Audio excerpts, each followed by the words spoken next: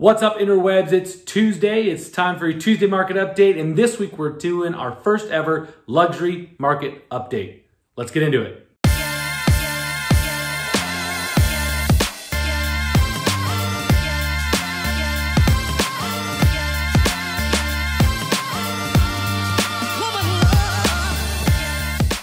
This week starts off a new format we're going to use for specifically looking at our luxury markets of Scottsdale and Paradise Valley. We also offer a market report for Phoenix as well. So if that's something you're interested in receiving, uh, we will send these out a monthly. So feel free to, to contact us to sign up for that, look, that market report. Some of the numbers and some of the um, percentages, the way that we're um, evaluating the inventory and market is going to be a little different because we're using a specific format from the Institute for Luxury Home Marketing, a group that I am a part of.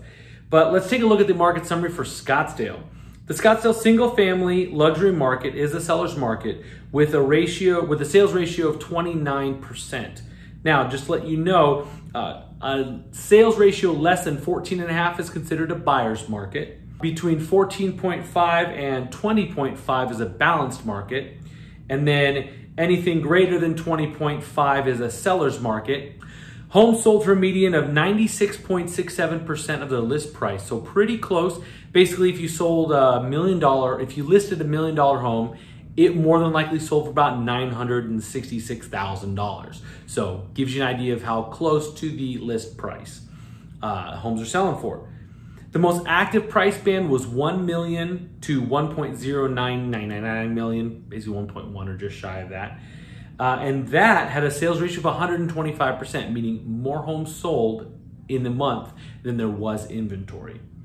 Uh, the median luxury sales price for single family homes decreased a bit uh, to 1.282 million. The median days on market is 79, uh, down from 82 in July.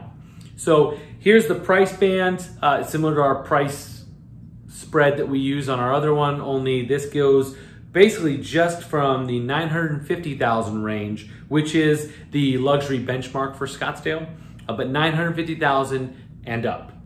And as you can see, the, the black line is the inventory, which we have a total of 570, and we had a total sales of 165.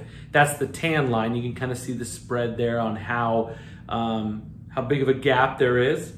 And if you look at the one, the one on the bottom, the one to 1.1 million, that was 25 homes sold with 20 in the inventory. If we look at the 13 month luxury market trend, and we've got the black line there is the median sales price. The light tan line is the inventory and the darker tan line is the sold. And as you can see, uh, July was a stellar month. Uh, August was also really great. So it looks like March and then this summer this year, which we kind of joked with COVID that our selling season that normally is March kind of shifted this year um, and it's kind of happened in June and July. So that trend is sticking here in Scottsdale as well. And then we've got some median data, just kind of give you an idea of the inventory compared to July, so compared to the previous month. Yeah, and if you want to look at these in more detail, uh, you can go sign up for this report on my website. Link is in the description below. Also on the Scottsdale report will be attached homes. So that's like condos, um, townhouses, stuff like that. There is a luxury market for that. I'm not going to cover it though because it's a little bit smaller bit of the market. All right, let's look at the Paradise Valley report. Here's Paradise Valley market summary. Paradise Valley single family luxury market is a buyer's market with a 12% sales ratio. Homes sold for median of 94.8% of the uh, list price.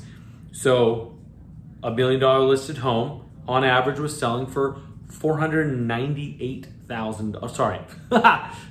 A, million dollar listed home was selling for roughly $948,000 so you can see there's a because the buyer's market stuff selling for less than list price there's not as much competition in this higher price point. The most active band uh, price band is the 1.85 million to 1.95 million uh, where the sales ratio is 67%. The median luxury sales price for single family homes uh, decreased to 2.3 million, And the median days on market for August was 137 days, up from 92. So let's look at the uh, price bands. Uh, as you can see, by far the highest inventory is in that 5.25 and up range with 38 houses. The total inventory in Paradise Valley luxury market is uh, 178. Uh, total sales was 22. Now, something I want you to notice here, the luxury benchmark price for Paradise Valley is 1.65 million. And what, what the luxury benchmark is, is it's the top 10% of uh, priced houses in a market. So in this case, Paradise Valley is a much higher luxury benchmark than Scottsdale. And both of them have a much higher luxury benchmark than the Phoenix market. The Phoenix market's like 500,000. All right, here we go, the 13 month luxury market trend. The thing I found interesting on this is over the last year, uh, July and August were really good. Like we said, we thought we were gonna see that in March, but it kind of shifted to July and August. But one thing I want to note is we had almost almost as many sold in November, December, and January. 23, 21, 30, 24 in February. So I want to do a little more digging, but could it be that the holidays are the best time to sell a house in Paradise Valley? Maybe. Here's the median data comparing August to July. Now it is taking some time for me to get a little familiar with these reports. Again, they're offered to me via the Institute for Luxury Home Marketing. If you're interested in following the luxury home markets of Phoenix, Paradise Valley, or Scottsdale, uh, just go to the link in the description and you can sign up for that. It'll be a monthly report. It comes out uh, just a little bit past halfway of the month uh, each month. So I appreciate you guys checking in. I uh, hope you guys like some of this information for the luxury market. And uh, we'll see you guys next week on the Tuesday market update. Bye, guys.